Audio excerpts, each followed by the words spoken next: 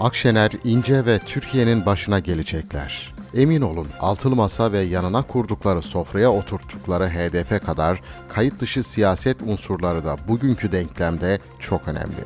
Bunlara ister CHP'li medya mensupları deyin, ister sanatçı, ister eski siyasetçi veya iş insanı. Hepsinin ortak özellikleri sosyal medya öfkesini örgütlemelerinde ve Ankara'daki genel merkezleri baskı altına alan agresif karakterlerinde düğümleniyor.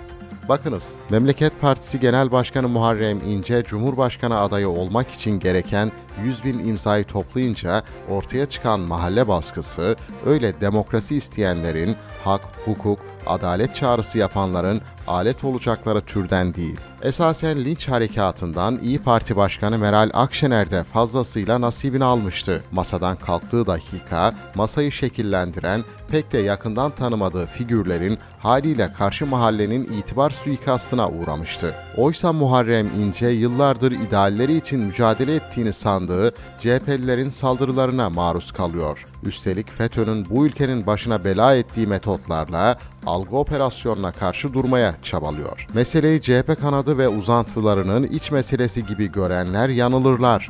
İnce'yi adaylıktan çekilmeye zorlayan ataklar, kullanılan dil, sahneye çıkarılan sivri isimler.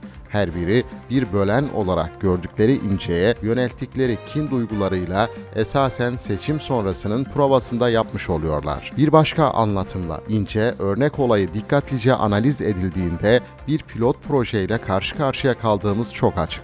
Nedir o proje? Sevgi kelebeği görünümlü siyasilerin ve etraflarına toplananların her birinin aslında intikam duygusuyla yanıp tutuşmaları, ülkeye barış ve huzur getirmekten ziyade azgın azınlığın hislerine teslim olarak önce devletten, sonra milletten rövanş alma kararlılıkları her şey çok güzel olacak masalıyla İstanbul'da sergilenen dışlama ve ötekileştirmenin eğer fırsat bulurlarsa ülkenin her kurumuna ve her yanına yayılacağını şimdiden ilan etmeleri. Yeri gelmişken demek ki neymiş? Muharrem İnce küçümsendiği kadar bir faktör değil, masa ve HDP için baş ağrıtan ciddi aktörmüş. Demek ki neymiş Muharrem İnce? Eski bir öğretmen, yeni bir politikacı.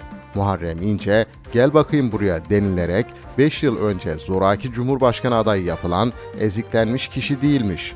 Demek ki neymiş? Muharrem İnce masa ve sofra dengelerini etkileyebilecek kadar mesafe kat etmiş ve bunun dezenformasyon hikayelerindeki gibi AK Parti ile alakası yokmuş. Kaldı ki siyaset bu, sağ solu belli olmaz. Mayıs 2018'de adaylığı duyurulurken Kemal Kılıçdaroğlu için kendisini eleştirmiş, karşısında aday olmuş birisini Cumhurbaşkanı göstermek her baba yiğidin harcı değildir diye öven Muharrem İnce, son dakika siyasetin inceliklerine göre manevra da yapabilir. Orası kendi bileceği iştir. Nihayetinde sel gider, kum kalır. Fakat Akşener'in yaşadıkları, İnce'nin katlandıkları, Türkiye'nin başına gelebileceklerin de bir özetidir. Gücü eline geçirenin başlangıçtaki niyeti yönetmek değil, devri sabıktır.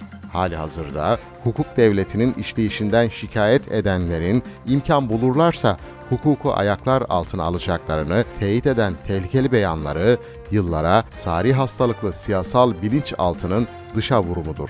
İbret alınması gereken manzara da burasıdır. Okan Müderrisoğlu, Sabah